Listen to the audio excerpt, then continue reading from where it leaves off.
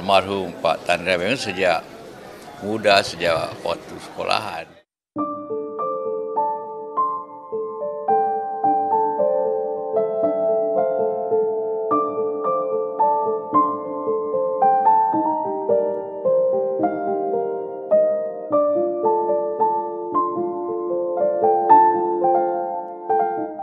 Ya, saya teman sekolah sejak di SMA, beda jurusan sedikit.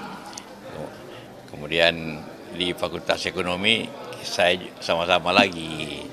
Pertama almarhum Pak Tandra memang sejak muda, sejak waktu sekolahan itu memang mempunyai kelebihan dalam uh, mengatur waktu, memanage dan aktif hampir organisasi kita sama-sama di HMI mana uh, di Senat dan selalu beliau menonjol dalam hal pengorganisasian.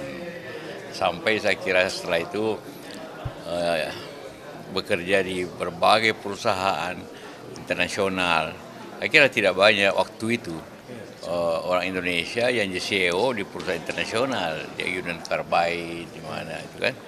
Dan kemudian menjadi BUMN. BUMN itu punya modal sendiri karena dia pengalaman uh, usaha sendiri, pengalaman uh, dengan asing.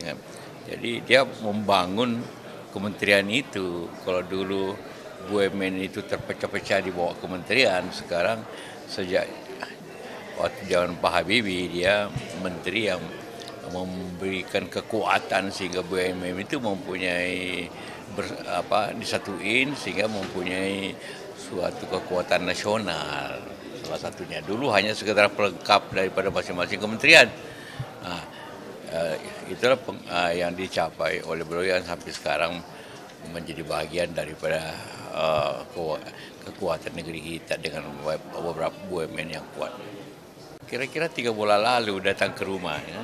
ya. kita cek diskusi banyak sering ketemu tapi dan terakhir itu sebelum dia sakit, saya sendiri tidak tahu dia sakit. Ya. Nanti dikasih tahu buat di Singapura, di Singapura suruh kita itu. diskusi tentang apa Pak?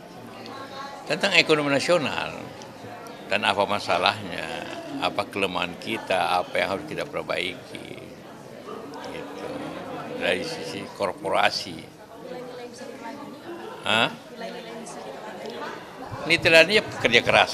Kedua belajar, mempunyai pengalaman yang luas dan mempunyai harga diri yang kuat. Artinya uh, kita ini uh, apa itu walaupun Indonesia sanggup bekerja sama dengan apa yang dikerjakan oleh uh, CEO-CEO seperti sampaikan tadi asing itu tidak soal ya ya seperti itu memang beliau kan akhirnya sekolahnya di Amerika di Fakultas Ekonomi dasarnya di UNAS.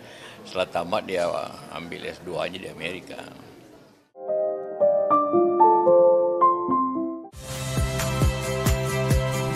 Saya Liviana Cerlisa. Saksikan program-program Kompas TV di siaran digital, pay TV, dan media streaming lainnya.